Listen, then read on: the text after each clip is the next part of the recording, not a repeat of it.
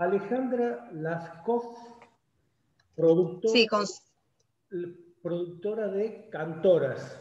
Eh, sí, Lascaux es con Z las dos veces. Soy de Lascaux Producciones. Sí. Eh, quería consultarte si cuál fue el criterio que han empleado para seleccionar a las mujeres que conforman este disco. Hola, ¿qué tal? Bueno, feliz eh, de estar eh, con ustedes. Cuando surgió la idea, que fue en fines de septiembre del 2020, el disco se editó en el 2020 en diciembre y comenzó a fines de septiembre, la idea era que sean todas mujeres y de todos los géneros musicales y que sea federal, que esté en todas las provincias. Ese fue el criterio eh, en general, mujeres. ¿Cómo fueron seleccionadas? Bueno, eh, yo llamé a los estudios de grabación y a toda la gente de prensa que estaban vinculadas con todas las cantantes femeninas, porque desde las coproducciones siempre hicimos CDs a hombres, eran 40 CDs de un hombre, uno de una mujer. O sea, esa era la, cuenta. Entonces yo no, no, tenía acceso a conocerlas a todas. Y a través de las agrupaciones que hay en todas las provincias de mujeres, yo les mandaba la invitación y ellas así se iban conectando conmigo y así iban llegando a estar eh, en el disco. ¿Qué te llevó especialmente a hacer un disco con mujeres eminentemente? Bueno, porque el año pasado, al igual que este, que hace poquito que, lo estamos transitando, porque estamos recién en febrero, estaba todo muy quieto mm. en, en la música, en, todos los géneros, ¿no? Masculino y femenino. Eh, y estaban, no estaban haciendo nada. Eh, yo me daba cuenta porque desde la productora no, no, sonaba tanto el teléfono, no había tanto movimiento, solamente todos cantaban el famoso que estaban en la casa, el quédate en casa. Pero no estaban grabando, eh, porque decían, no, que voy a grabar, no tengo tiempo, no, no llego, no puedo grabar un disco entero. yo dije, nadie va a poder grabar un disco entero de 10, 12 temas, pero sí todas podemos hacer un disco. Y ahí un día me cayó la idea, dije un disco de mujeres, y bueno, no quería contar la idea porque decía, te la van a robar, eh, registrando el nombre, eh, pensando el nombre también, porque estuve como dos semanas pensando qué nombre le ponía, porque tenía que ser un nombre que, que, nos, que nos encasillara a, todas, ¿no? Que todas estuviéramos dentro de, y bueno, y, fue esa la idea, y por eso de mujeres, porque como en el año 2019 ya había salido la ley del, tema del cupo femenino, que están el, el 30%, y yo digo, pero ahora es todo virtual, está bien, lo tienen que cumplir en forma virtual. Pero estábamos todos como que no entendíamos mucho lo que pasaba, por lo de la pandemia, después la cuarentena estricta. Bueno, empezaron todas a salir de sus casas, a conectarse con los músicos, a buscar qué temas grabar. Eh, fue la verdad impresionante porque todas se salieron de estar en, no estoy haciendo nada, qué voy a hacer, qué va a pasar con la música, el mundo se paró, el mundo se paró. Y desde las coproducciones, Cantoras.ar se activó, o sea, fue al revés.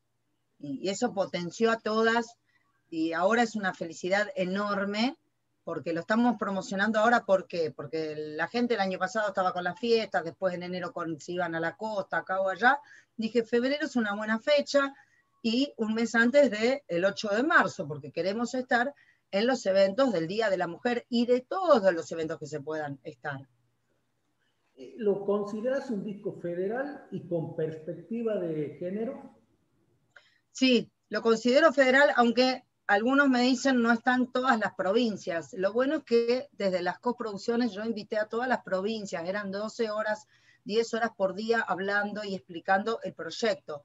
Pero claro, había gente que no podía ir a grabar. Aunque algunas podían poner los temas que ya tenían. ¿Por qué? Porque la idea era esto, estos temas, eh, difundirlos, difundirlos, que se anoten en ADI y puedan cobrar los derechos, también se pagó SADAI, que este disco es un disco eh, físico eh, de, verdad, o sea, es un disco de verdad y el disco es plateado, ¿no? O sea, más vale, no va a ser un disco copia, no va a ser un disco trucho. Entonces, entra en todas las de la ley.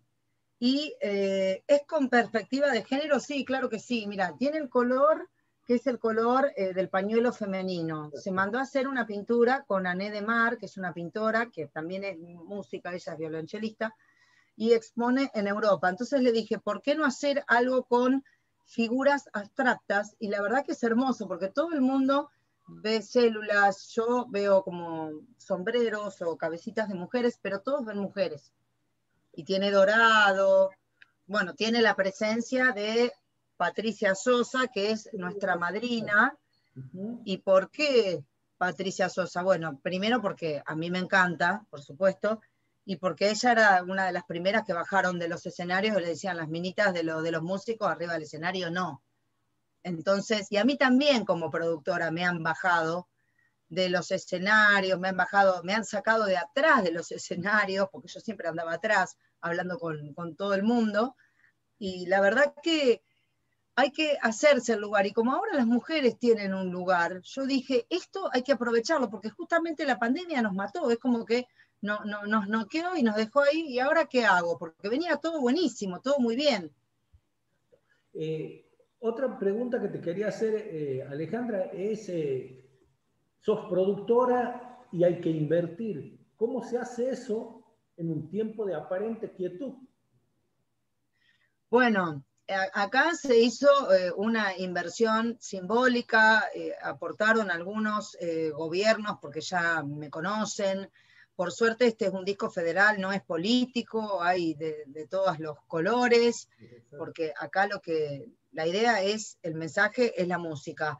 Y mm, sí, se hizo, como dirían los cantantes, hago todo a pulmón.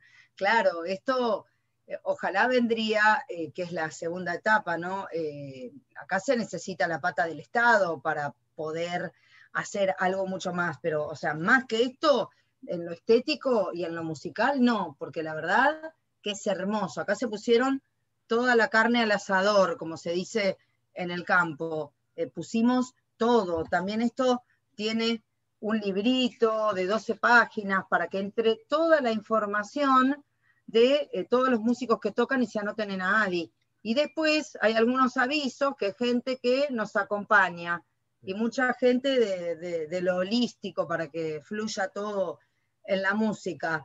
Eh, y sí, el aporte fue muy poco, pero bueno, quizás algunos no, no, habrán creído en el proyecto. Yo sí lo veía porque hace 20 años que estoy en la música y yo me imaginaba, o sea, todas las mujeres juntas, o sea, eh, es muy fuerte, porque hablan todos de la sororidad, pero después cuando se dan vuelta, una la critica a la otra, mira esta, qué se piensa, qué se cree, y que no sé qué, no sé cuánto. En cambio acá, lo que se logró desde cantoras.ar es que ellas, eh, que no, no, se conocen, porque claro, si ahora no se puede viajar, eh, cada una está en su provincia, se conocen a través de las redes, de la fanpage de cantoras.ar, del Instagram arroba cantoras.ar o de la web www.cantoras.ar. Entonces ellas mismas se comparten un video a la otra, se comentan y es la idea de que este proyecto eh, va a ser itinerante, ya lo es para mí itinerante y estamos esperando ya que nos digan, bueno, vengan, vamos a Santiago del Estero y si estamos en Santiago del Estero, eh, invitamos a Tucumán y La Rioja que son eh, los que quedan más cerca y Catamarca, eh, y así ir eh, provincia por provincia. En cuanto al repertorio, Alejandra, ¿se dejó a la libre elección de cada una de las cantoras o hubo una, una línea que se marcó en relación a eso? No, no hubo una línea en el sentido de, no es que se dijo, bueno, vamos a hacer temas que hablen de la mujer o no. Eran cantados por ella, podían cantarle al amor, a la violencia de género, al paisaje, a lo que quisieran. Eh, sí, por supuesto lo tenían que grabar. Cuando vino una de las chicas y me mandó con maquinita, dije, no, yo no puedo poner un tema, tenés que grabar. Si grabás, entras y si no, no. Y se puso a grabar con músicos de verdad. Eh, así que no, fue libre, fue bastante libre, muy libre. Y, y vos escuchás los 112 temas que están en, en la web www.cantoras.ar y es increíble. Empieza con La Paz, eh, que es el tema que interpreta Patricia Sosa, y termina con em, Silvia Palumbo y Desbandadas, que canta el tema Ni una menos. Eh, para mí es muy importante cómo abre y cómo cierra un disco. Por supuesto que son 46 intérpretes, algunas van a estar antes y después, pero eso no importa, porque está tan bien armado, y no solo porque lo haya armado con mi gente desde la productora, sino porque está bien, está buenísimo armado, porque tenemos folclore, lírico pop, mantras, y es muy difícil del folclore pasar al lírico pop, después al mantra y después hacer melódico, después canción, rock, tango. O sea, tenías que escuchar cómo terminaba un tema y después cómo empieza el otro, porque si no es imposible para, para el oído del ser humano, tiene que ser algo lindo de escuchar. Y dura 5 horas 54 minutos y lo que armamos es como una lista de Spotify, pero en un disco físico, en un disco físico en MP3. Que el disco el 8 de marzo va a estar subido a Spotify, lo vamos a subir, por supuesto. Pero ahora queríamos hacer todo este adelanto de esta manera, eh, para ya eh, empezar a, movernos y la respuesta es tremenda. Eh, un vicegobernador ya llamó a una de las cantantes para que cante el himno a, ese nivel. O sea, a todas las están llamando porque salen en, los diarios con ustedes en las notas, porque está, está buena la propuesta y está bueno que todas se van a juntar, porque si yo voy sola, sola no puedo lograr cosas. Ahora, si yo estoy con otras, es como que nos potenciamos y nos empoderamos las mujeres. Eh, a propósito de lo que me citaste, lo del 8 de marzo próximo, ¿hay, eh, ¿tienen programado algo en especial para ese día? con el disco ya en la mano? Esa es la idea, o sea, estamos, eh, o sea, mandando cartas eh, a todo el mundo y enviando el disco y, las gacetillas de prensa, o sea, eh, firmado todavía no hay nada, está todo así como estamos entre bambalinas. recién ahora, el, el, primero de febrero se lanzó, sé que hoy es cuatro, o sea, hace tres días y, ya están eh, preguntando y, sí, seguramente vamos a estar en muchos lugares, porque como somos 46, somos muchas, eh, podemos estar en muchos lados, porque no es necesario que vayamos las 46 o 40 o 30 a un lugar, uno se puede dividir y se va armando según el tipo de evento y, y el lugar, y si es virtual o presencial. Alejandra, te pregunto, sos melómana sin lugar a duda, ¿no? Sí, a mí, a mí me, gusta escuchar la música. Yo en realidad cantaba cuando era más joven y me arruiné las cuerdas vocales porque era maestra y cantaba los temas de Patricia Sosa, de Celeste Carballo. Gané un concurso y bueno, y a mí eh, todo eso me, me, gusta. Grabo un tema en este disco que se llama La vida soy, que lo compuse con Tony Izquierdo, que es eh, uno de los percusionistas más grandes de la Argentina, que lo debes conocer de los izquierdos de la cueva, que él es de Jujuy. Y el tema es hermoso. Eh, estoy en el, en el tema 110 eh, y claro, vos escuchás que todas cantan buenísimo y cuando aparezco yo te das cuenta que no soy cantante. Pero yo quería saber qué era grabar un tema, porque todas me decían, sí, dale, voy a grabar. Había una que grababan en una semana y otra que grababan en 20 días. Porque claro, primero porque se enfermaba uno del, del bicho este, otro, o cerraban la provincia, o no es tan fácil grabar, porque la gente se cree que uno va, canta, no, no es eso grabar un tema. Es muy difícil, pero es muy divertido y muy lindo. En mi caso, eh, lo que está bueno es el mensaje del tema, porque dice, sigue tus sueños, eh, deja la queja, bueno, no sé qué, ponte a reír. Ahora no, no me sale porque no lo estoy cantando, pero es, es, es el aquí y el ahora. Y creo que esto de la pandemia nos hace eh, pensar en el aquí y ahora, porque si el año pasado hubiéramos pensado en el aquí y ahora, la verdad estaríamos todos muertos. Eh, y volviendo a Cantoras.ar, cuando empezaron a grabar, decían, ah, vamos a grabar, vamos a hacer un disco, pero no, no, no sabían la magnitud de esto. Esto es muy fuerte, esto es un hecho histórico.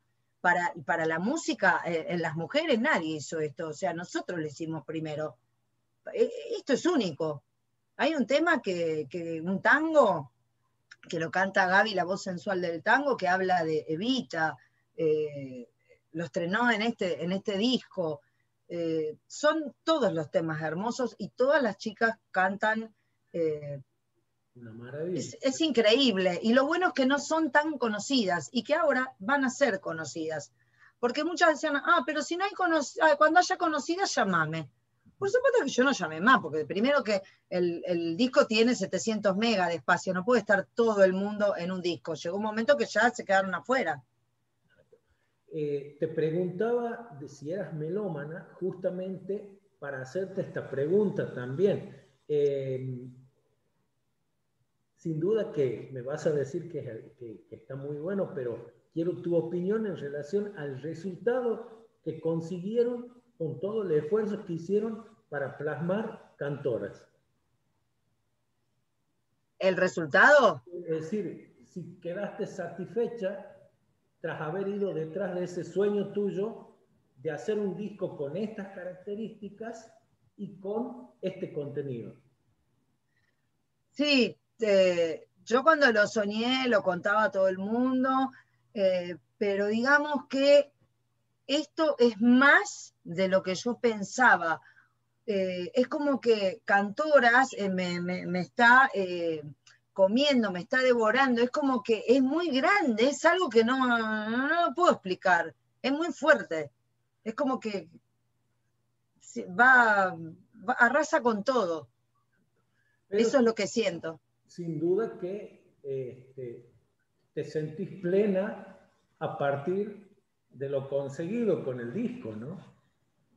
Sí, sí, porque es hermoso, porque, como te decía hoy, yo tengo mucha gente eh, de la rama holística, de todas las terapias alternativas, y todas me dijeron, porque ellas se conectan con los maestros y, y, ven cosas y dicen, vemos un disco dorado que gira, vemos puertas que se abren, vemos muchas mujeres, o sea, se abren todas las puertas, dice, estas cantantes que están en el disco, es un antes y un después. Y cuando Patricia Sosa se convierte en la madrina, o sea, nadie lo podía creer. Las chicas decían, ¿qué? No lo podían creer, porque Patricia tiene algo muy especial.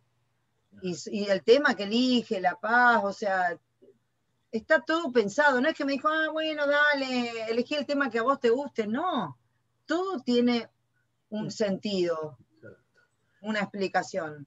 Alejandra, te agradezco muchísimo eh, esta nota y, esta posibilidad de, saber más allá de lo que está puesto en el disco y que, bueno, hoy está comenzando a caminar y con muy buenos resultados. Te agradezco mucho realmente. Mira quién te saluda. Este es el tótem de cantora, se hizo especialmente, es un tótem que les da poder a todas las cantantes y todas lo tienen. Perfecto, muchísimas Lo hizo Fortuna Tomasa de Jujuy. Perfecto, muchísimas gracias, realmente. Gracias, a vos. Un abrazo enorme, Alejandra, gracias. Gracias.